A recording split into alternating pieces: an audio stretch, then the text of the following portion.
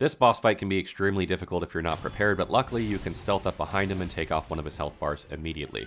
Unlike other mini bosses, in this one you're going to want to be aggressive because you want to dictate combat. So that means back away until he's sort of walking slowly, run in, attack him twice, and prompt a response, which you'll usually need to deflect once or twice immediately and then dodge. You do not want to stand there and try and tank his hits with deflects because he simply does too much posture damage. So besides that first attack, which is rather quick, you want to try and get behind him if you can. I advise against relying on the Mikiri counter for this fight because when you do it, he tends to throw you off afterward and follow up with another attack, and if you're not prepared for it, it can pretty much one-shot you. With spear users in general, it's always a good idea to be aggressive and to do a lot more dodging than deflecting.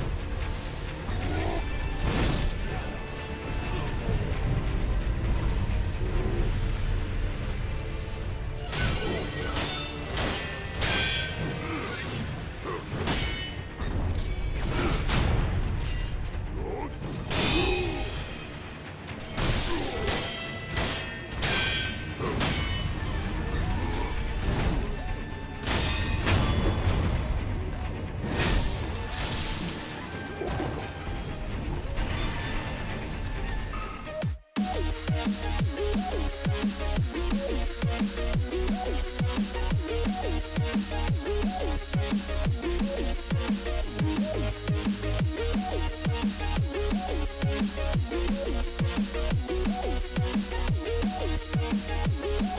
ェクト!」